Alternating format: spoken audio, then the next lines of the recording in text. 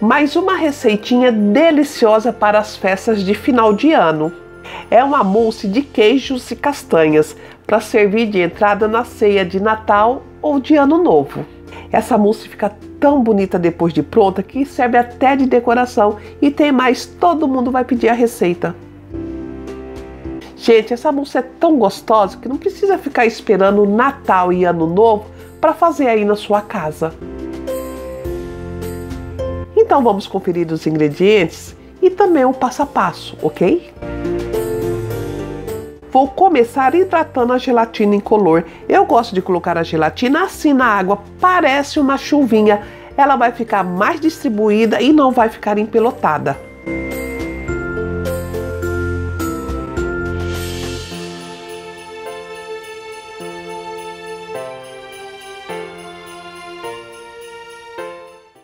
Nesse momento aqui, ela tem que ficar toda misturada. Olha só como que a gelatina fica depois de hidratada. Ela fica bem firme.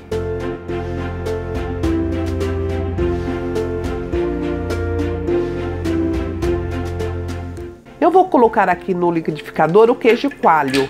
O queijo gorgonzola, ele vai dar um sabor especial a ricota, o creme cheese que dá leveza na mousse.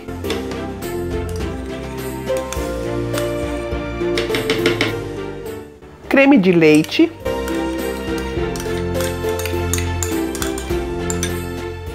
A maionese, mas o sabor dela não vai aparecer na mousse. Um pouquinho de pimenta do reino. A pimenta é a gosto. E sal que também é a gosto.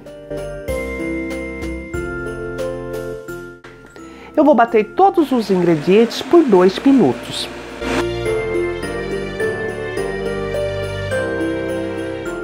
A gelatina incolor já está derretida. Levei ao micro-ondas por 30 segundos, depois por mais 30 segundos. Agora eu vou colocar aqui e bater por mais um minuto. Aqui tem castanhas do Pará cortadas grosseiramente, eu cortei na faca. E nozes picadas também grosseiramente. Vou bater no pulsar por cinco vezes, é só para misturar as castanhas no creme de queijos.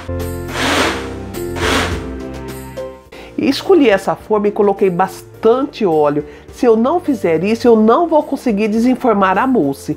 Vou colocar aqui todo o creme e depois eu vou levar à geladeira por 8 horas.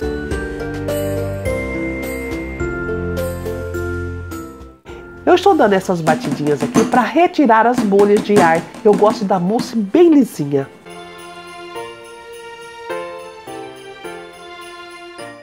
A minha mousse ficou na geladeira de um dia para o outro. Agora eu vou desenformar, mas antes vou passar nas laterais uma faca.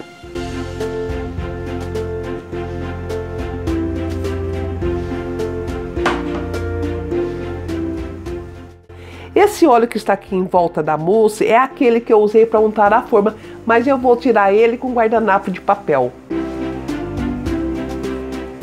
Eu estou usando aqui castanhas do Pará picada bem miudinha. Eu vou colocar por cima da mousse e nas laterais.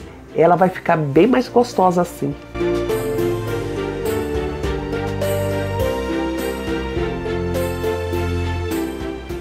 Eu acho que essas cerejas têm a cara do Natal. Não podia faltar na decoração da minha mousse. E o alecrim também, ele parece festão. Eu acho ele perfeito para as decorações natalinas. Amei a decoração da minha mousse, ficou bem natalina.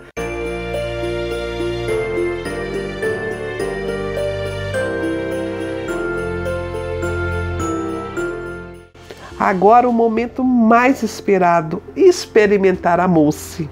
Ficou muito gostosa, é uma mousse suave e bem cremosa. Essa mousse com torradinhas servidas como entrada atende até 20 pessoas.